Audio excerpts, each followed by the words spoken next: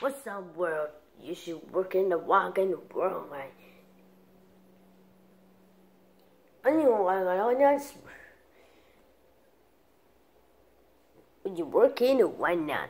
And this wrestling are working hard. You're just wrestling the fresh listen.